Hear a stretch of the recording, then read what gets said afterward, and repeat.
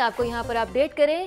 شہراز town امیر چوک میں دکان میں سلینڈر دھماکہ ہوا۔ ریسکیو ٹیم میں امدادی کاروائیوں میں اس وقت مصروف ہیں۔ اسی پر بات کر لیتے ہیں نمائندہ لاہور نیوز ارسلان حیدر سے ارسلان بتائے گا، شہراز ٹاؤن امیر چوک میں دکان میں سلینڈر دھماکہ ہوا۔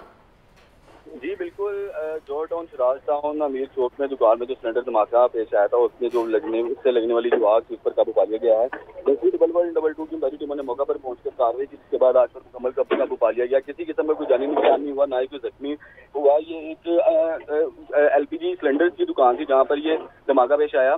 تو اس کے بعد اب ریسکیو نے جو ہے وہ امدادی کاروائیاں مکمل کر لیا ہے اور پولیس موقع پر پہنچ چکی ہے۔ واقعہ کی مزید تحقیقات ارسلام یہ بھی بتائے گا کیا یہ رہائشی علاقوں علاقے میں یہ دکان جو تھی بنائی گئی ہے کیونکہ آس پاس میں گھر نظر آ رہے ہیں گھروں کو نقصان ہوا؟